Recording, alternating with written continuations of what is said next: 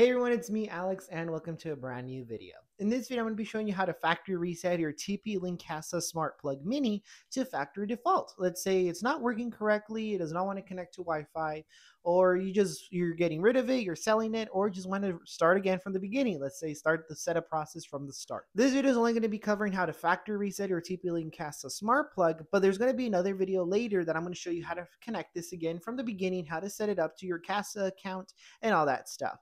But before we get started, hi to anyone new here. My name is Alex Torres. I do helpful technology videos. So make sure that subscribe button is if you want to help my channel grow. Thank you. So let's get started with the video. So before we actually go ahead and do the factory reset and get our iPhone and all that stuff, you want to make sure your your smart plug is connected to a power outlet. For example, as you can see, I just went ahead and connected mine right now. So it's going to start flashing and connecting to our Wi-Fi network.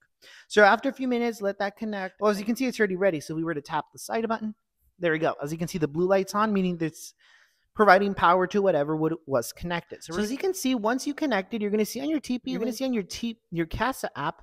For example, for me, this one's the ceiling speakers. If I was to go ahead and turn it off, it turns off the smart plug. To tap it on again, it turns back on.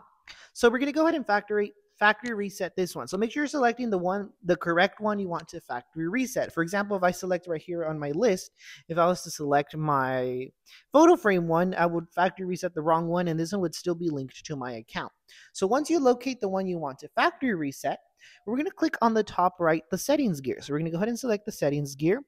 And then we're going to go ahead and select remove device. Again, be sure you're selecting the correct one you want to factory reset. So we're going to go ahead and do remove device. So remove device, of course, is going to ask you, your smart plug will be removed from your Kasa account and restored to factory settings.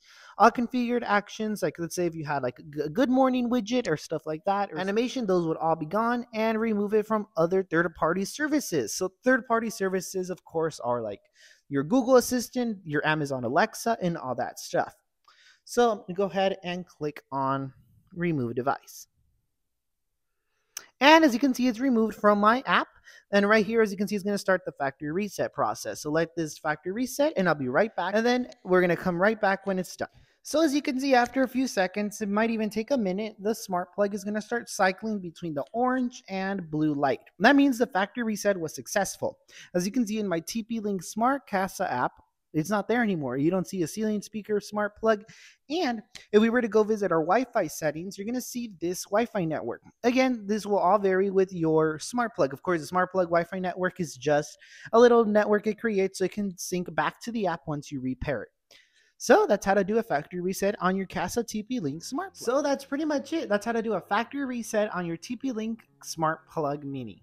So again, once you factory reset, let's just say you had your Google Assistant, like saying, let's say you had, hey, turn on the lamp and you erase your device, that means your Google Assistant or your Amazon Alexa will no longer recognize it because when you link it to those devices or services, it uses what's on your device. So that means those scenes are gone too. So that's pretty much it. This video covered how to factory reset your smart plug. If you would like to see my other video on how to pair this, a video will be coming soon.